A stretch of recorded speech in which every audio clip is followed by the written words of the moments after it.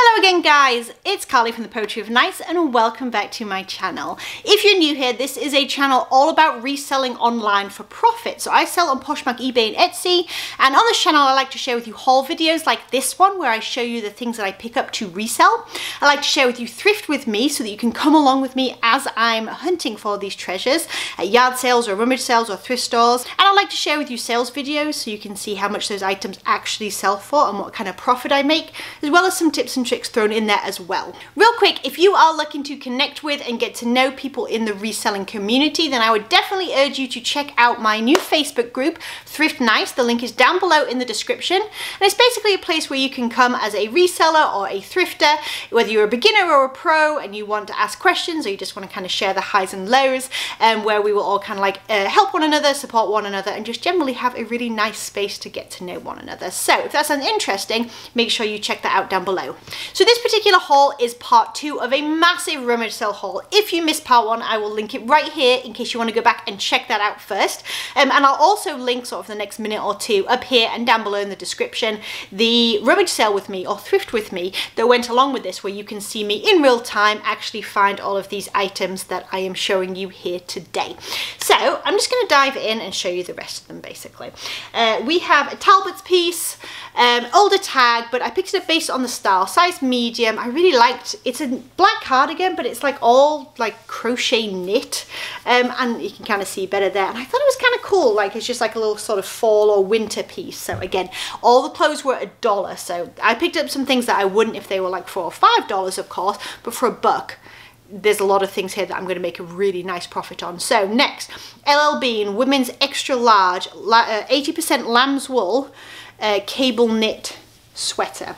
So again, kind of a basic or whatever, just this uh, nice sort of, sort of solid green colour. I would prefer it if it was like a Nordic Fair Isle type print, of course, but with a great fabric content like 80% lamb's wool, definitely to grab it for a buck. All right, this was one of my favourite pieces that I found here. I just love to rescue these kinds of pieces. Um, so it is a vintage Hawaiian dress. Here is the tag. There we go. Um, it is says basically Hawaiian made in Hawaii, size large. It's got a sort of paper tag there that kind of lets me know that it's a little bit older.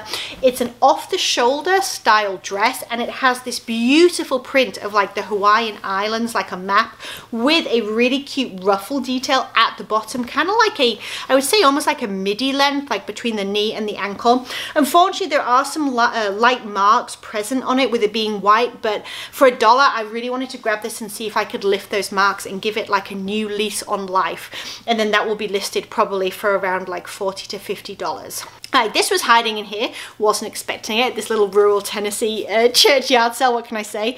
Uh, just an Anthropologie um, top. It is a size small. Oh, it's a Chemi and Kin if you can see it. There we go. So I actually haven't found this particular brand before. Um, it's a new one to me, Anthropologie-wise. I found a lot of Anthropologie, but not that particular one. And this one is really cute. It is a mustard yellow waffle knit, very boxy, kind of cropped um, not really a sweater, but just like a top or whatever. Very, very slouchy, very, very casual. Kind of want to keep it, not gonna lie. Probably gonna list it because I need the money more than I need another top in my life. But uh, yeah, I really like that piece. I thought it was really nice and perfect for the upcoming season. All right. Eloquii, again, I think this is a plus size brand. I found some pants in the last uh, haul that I showed you, size 20, but I like the style of this. So it's a blue and white, almost like a polka dot, but not, almost like a Swiss, I don't know, dotty. It's a dotty print, um, and it's a really nice cut with kind of this draped neckline here as well. Um, so I really like the fact it was plus size. I really like that it was on trend. Definitely easy decision to pick it up. All right, these are cool. So first of all, I found, let me try and figure it out. Bear with me. Uh, I found this first of all, which was the suspender belt um, in this beautiful like peachy pink. Um, here is the vintage tag in case you are wondering. I don't know anything about the brand, I haven't done any research yet, but I picked up the suspender belt and I thought I'll just throw that in because, you know, vintage suspender belt, whatever. And then I found the like little lingerie bodice that goes with it. Unfortunately, one of the straps are missing, but fortunately they are removable so I can just take take this away and discard it and just sell it as a strapless bodice piece. So that goes with it, same brand, same size.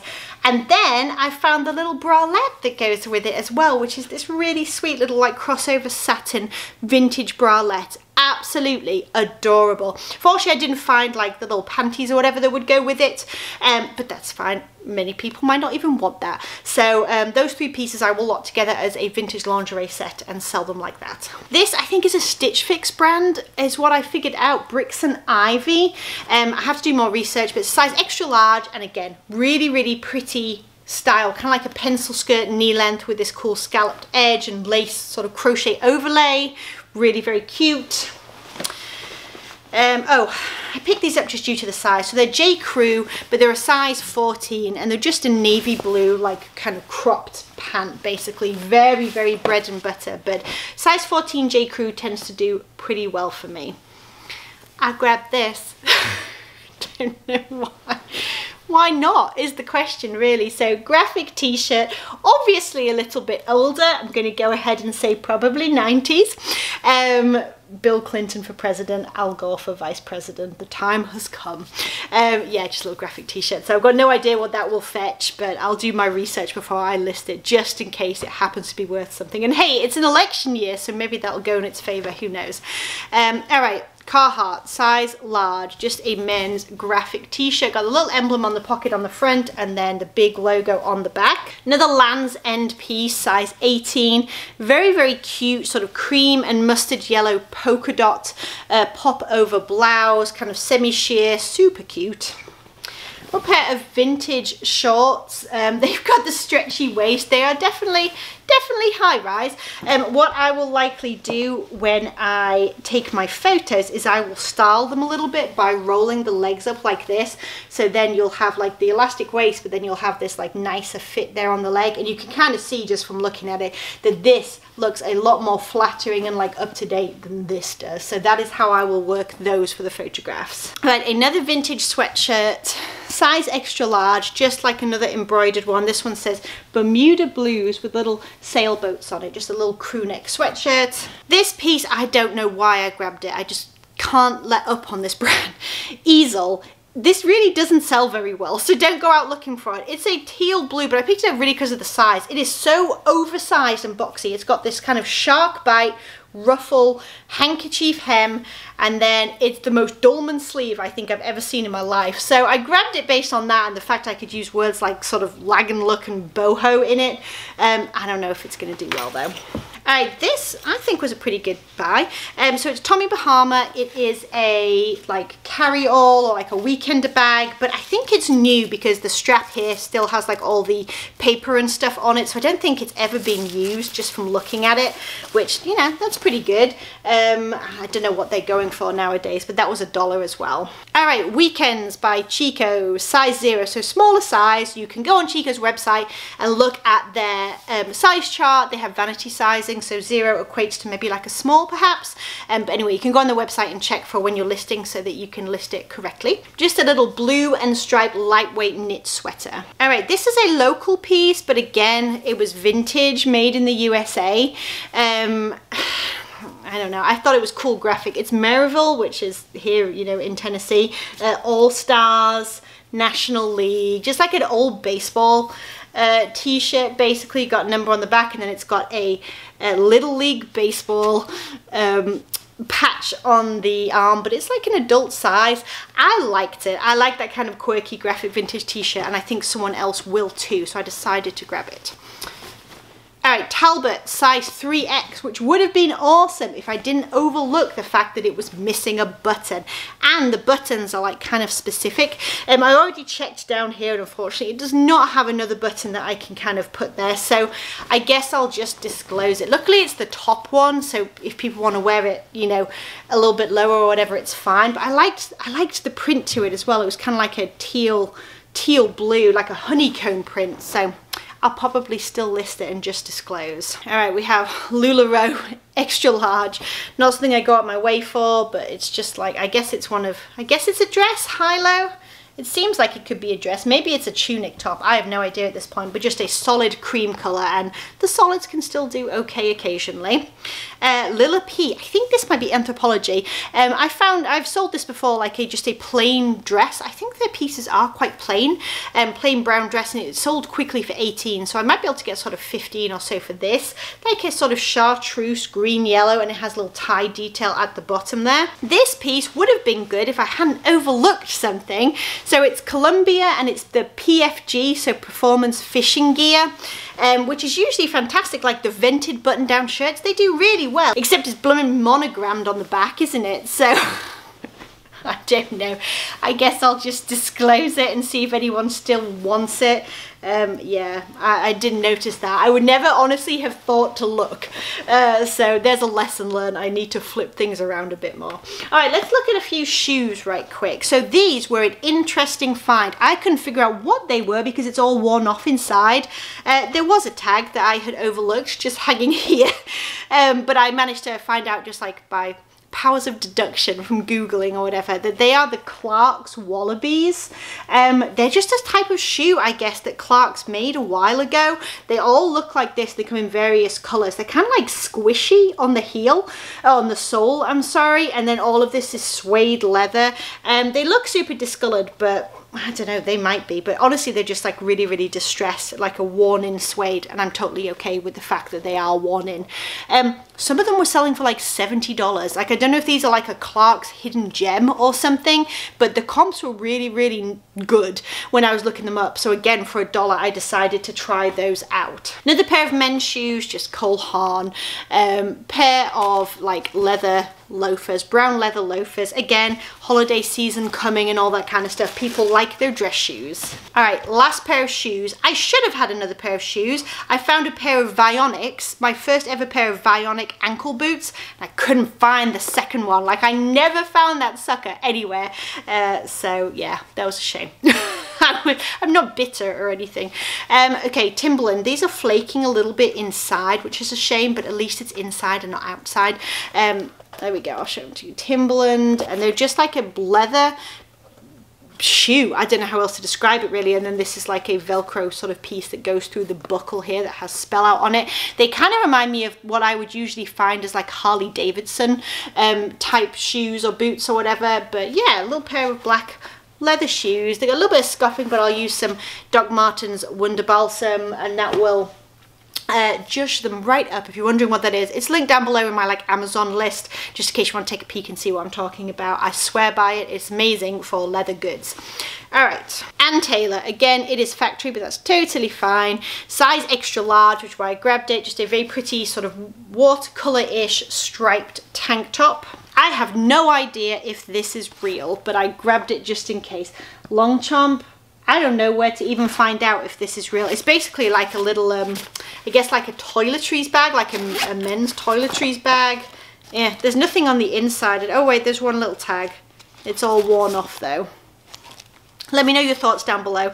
I'm, I'm not sure, but if nothing else, I get to learn a little bit about it, like authenticating it, so that's good. Oh, this is for me, I think. just a pineapple. I don't know really. I don't know if I even have a place for it. It's super, super heavy. It's brass. It has like a place you could hang it. Um, it could sit somewhere, couldn't it? Like I could justify that. I don't know. Um, if not, it'll probably go on Poshmark Home Goods and I'm sure somebody else will like a pineapple as well. Oh, I have another piece of clothing hiding in here. What are you? Hmm. Oh, I think this was, yes, LuLaRoe size 2X, so it's a good size, just a solid navy, kind of like textured knit uh, just a stretchy skirt really. I have to find out the actual name by Googling it. Alright, these, some of these things are for me.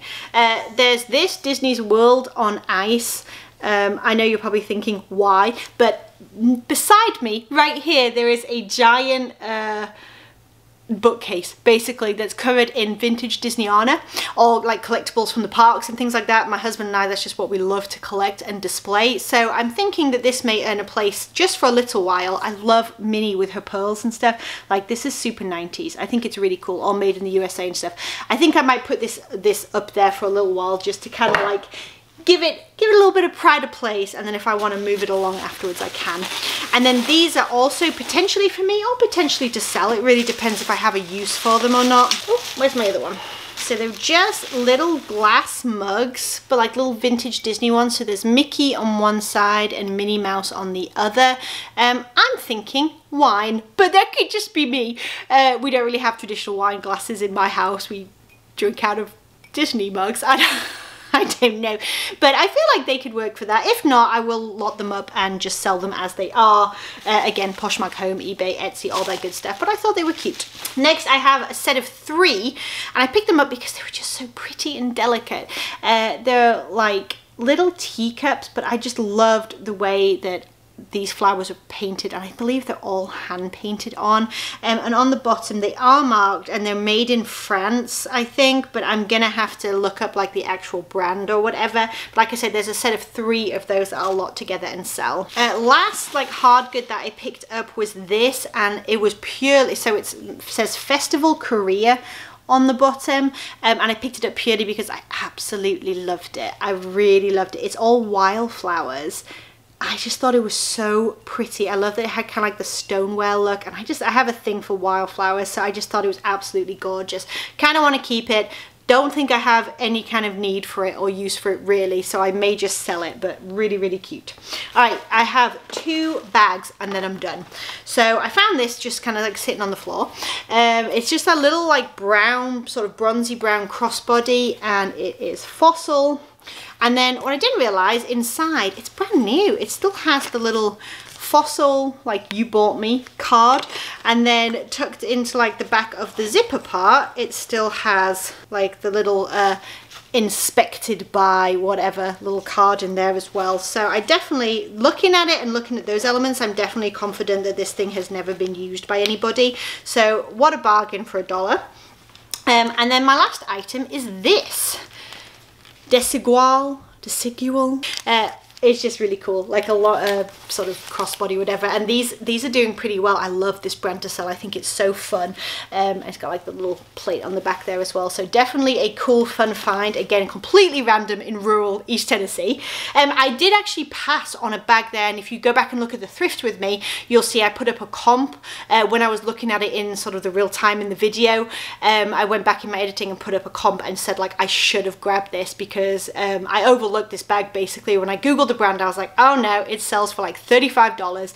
Uh, so if you're interested, I can't remember what it's called, unfortunately, but you know, uh, again, that's kind of the beauty of these thrift with me is that I can go back in afterwards and I can sort of put some information in there where I can learn from it and hopefully you guys can learn a little bit. So when I find it again out there in the wild, this time I'll know to grab it. Alright you guys, that is everything in this haul. If you enjoyed this video, please do give it a thumbs up. If you like thrifty content, please do think about hitting subscribe and hitting the bell so you can see when my next videos go up and come back and hang out some more. Alright you guys, stay safe out there and I'll talk to you in the next one. Bye!